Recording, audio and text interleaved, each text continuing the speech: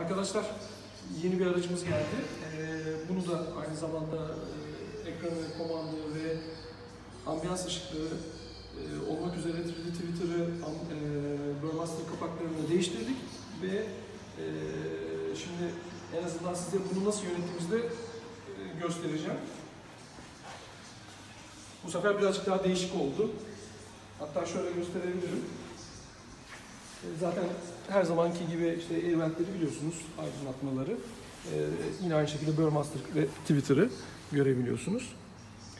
E, bunun renklerini komandonun üzerinde zaten şu anda görüyorsunuz. Ve ben nasıl değiştiriyorum? Mesela biraz rengini değiştirelim. Örneğin maviye doğru alıyorum. Gördüğünüz gibi. Yani buradan yönetebiliyorum. Yeşile doğru alıyorum. Gördüğünüz üzere. Tabi burada ben elimi değdiğim için tekrar yeniden e, ambiyans tarafına girdim. Burayı da yönetebiliriz. Burada da herhangi bir e, sıkıntı yok. Ben aydınlatmaya tekrar mesela araç ayarlarına geldim. Şunun üzerinden. Mesela navigasyonu seçeyim. Örneğin navigasyona geldim. Radyoya mesela geçiş yapıyorum. Radyoya geldik. Radyo çalışmaya başladı. Ee,